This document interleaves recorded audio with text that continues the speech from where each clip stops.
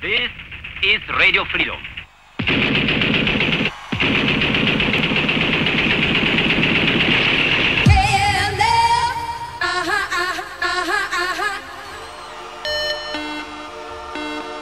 KLF is gonna rock you.